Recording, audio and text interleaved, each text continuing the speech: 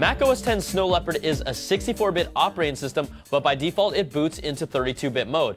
The recent release of Handbrake with 64-bit support reminded me that you can manually boot up Snow Leopard in 64-bit mode. So if you're running a Mac with an Intel Core 2 Duo or Intel Xeon processor, you can take advantage of this feature, but then some Macs with 64-bit processors won't be able to load the 64-bit kernel because they have a 32-bit EFI, which stands for Extensible Firmware Interface. Sure, that may sound confusing, but here, check out this list of 64-bit bootable Macs. Now, if you're still not sure, you can open up the terminal and enter in this command, and it will tell you if you have an EFI 32 or EFI 64.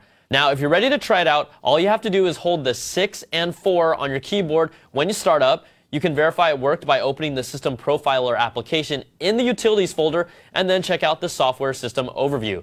Snow Leopard still runs 64-bit apps whether it's booted up into 32-bit or the 64-bit kernel, and really the main advantage is for people who want to use systems with more than 32 gigs of RAM. That's a whole lot.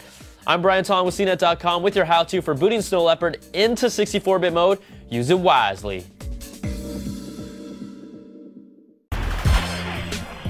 What's up, Brian Tong here, and if you want the scoop for all the good and bad inside the Apple world, then the only thing you should be watching is CNET's Apple Byte. I'll give you the latest news, rumors, tips, apps of the week, and even call out the bad apples. So watch it all at cnet.com slash applebyte, and I'll see you there.